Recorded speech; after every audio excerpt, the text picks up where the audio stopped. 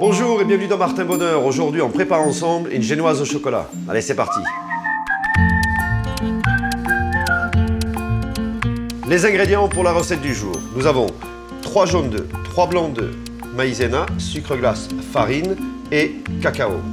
Alors, la génoise que l'on va faire aujourd'hui, c'est une base bien sûr pour réaliser ensuite des gâteaux ou même éventuellement pour déguster euh, nature simplement avec une chantilly. Alors, le principe de la génoise, il est toujours très très simple. Alors, on commence par mettre les 3 blancs d'œufs avec le sucre. Alors, on peut le mettre directement, il y en a qui disent qu'il faut le mettre en 4 fois, 5 fois. Vous le mettez directement. Sucre glace, 75 grammes. Là, on va monter nos blancs. Alors, on commence doucement hein, pour éviter que le sucre glace ne s'envole. Alors, on a 60 grammes de farine, une cuillère à soupe de cacao et une cuillère à soupe de fécule.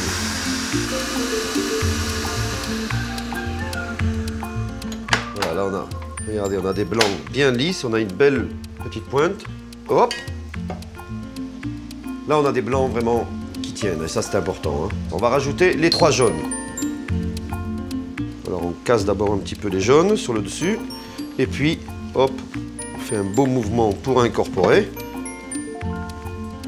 Et on va mettre les 60 grammes de farine, la cuillère à soupe de cacao, la cuillère à soupe de maïzena. Donc on va tamiser le tout dessus, ça c'est pour vraiment éviter les grumeaux. Une fois qu'on a fait ça, on vient hein, incorporer notre farine, notre cacao et notre maïzena. On n'hésite pas, on passe bien sur les bords pour aller chercher ce qui s'y colle éventuellement. Cette masse, on va la mettre sur notre tapis cuisson.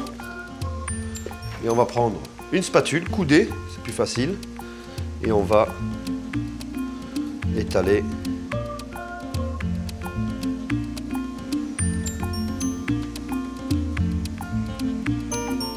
Donc maintenant que c'est sur la plaque, on va enfourner pendant 8 à 10 minutes à 210 degrés.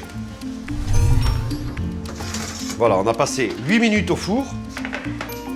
Et l'utilisation que vous pouvez en faire, donc, c'est par exemple, regardez, hein, un beau gâteau roulé. hein, pendant que c'est encore tiède, on le remplit. Et là, vous avez un beau gâteau roulé, confiture, chantilly, chantilly et glace, fruits rouges, fruits d'hiver, etc. Donc libre à vous de venir composer la préparation euh, qui vous plaît le plus.